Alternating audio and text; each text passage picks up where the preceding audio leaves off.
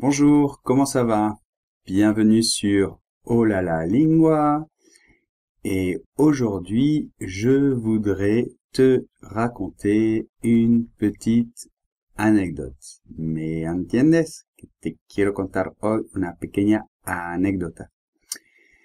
Ok, pues mira, tiene que ver con el idioma, las diferencias entre dos idiomas, que a veces pasa que haya confusiones y pasa situaciones divertidas.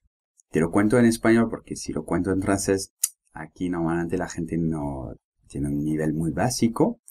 Pero bueno, lo he contado en francés. Si, si lo quiere oír en francés, pues vas en mi canal de YouTube de Français avec Pierre y aquí lo tienes todo en francés, ¿vale?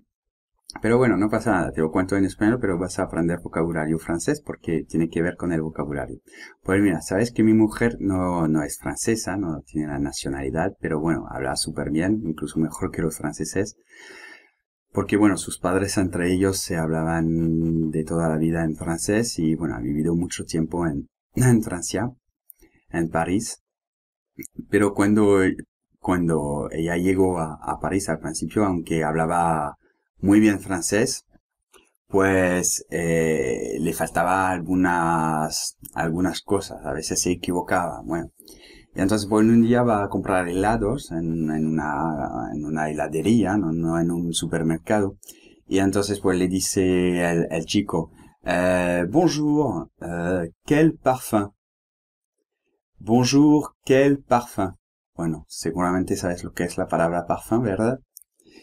Bueno, pues eh, entonces mi mujer eh, se, se, puso muy roja porque muy tímida y le, y le dijo eh, eh, Givenchy o bueno, no sé qué perfume se ponía.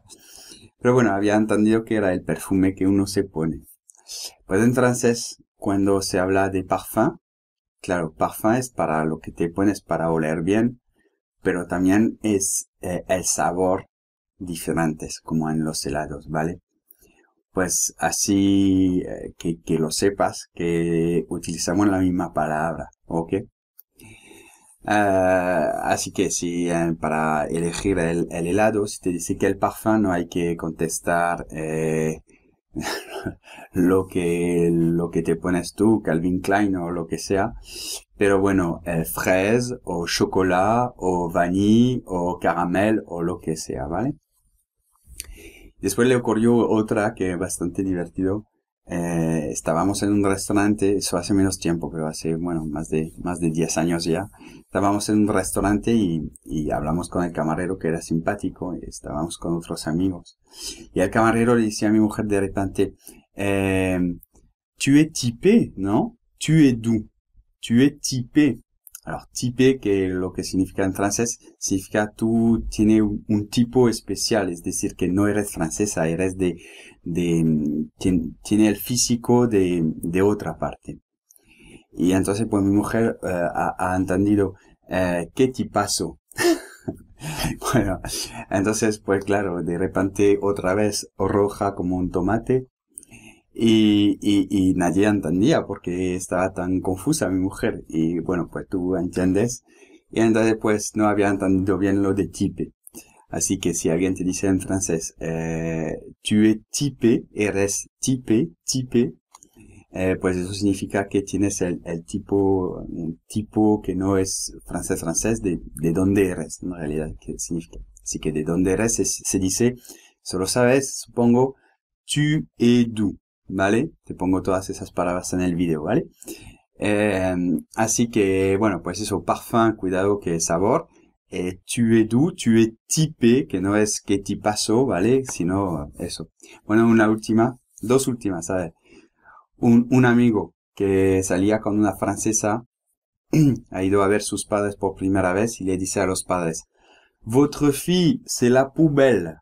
Votre fille, c'est la poubelle. Bueno, eso que significa que su hija es la basura, porque se ha confundido con la pronunciación entre eh, plus belle, más bella, es la más bella, es la más guapa, plus belle, y poubelle, que es la basura, ¿vale? Así que a veces también crea confusiones. Bueno, una última.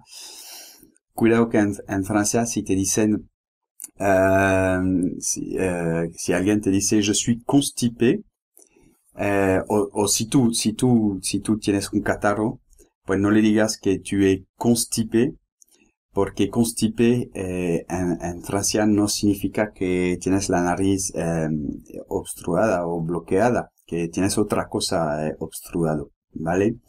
Es que, es que no, no puedes ir al, al baño, tienes problemas de constipación aquí, en la barriga, ¿vale? Que no sale. ¿Me entiendes? ¿Vale? Pero no aquí, más aquí, ¿vale? Así que constipé significa esto y no significa que tienes un catarro. Si quieres decir que tienes un catarro en francés, dice j'ai un rhume, un rhume, o je suis enrhumé, o je suis malade, ok? Je suis malade. D'accord? Euh, ou j'ai le nez bouché. J'ai le nez, la nariz, le nez, que es masculino, le nez bouché, obstruado. ¿Ok? Pero yo soy constipé, es otra cosa, ¿ok? Bueno, pues mira, si a ti te ha ocurrido cosas así, que sea en Francia o en otros países, me lo puedes contar, voy a poner esto en Facebook y bajo el post de Facebook o bajo el video de YouTube, pues me puedes contar también tus anécdotas, que seguramente me voy a reír mucho. Ok, voilà, rien de plus pour aujourd'hui. Merci, n'oubliez pas de me suivre sur Facebook, euh, d'aller aussi sur le post de, du blog et puis euh, de t'abonner à ma chaîne YouTube. À bientôt!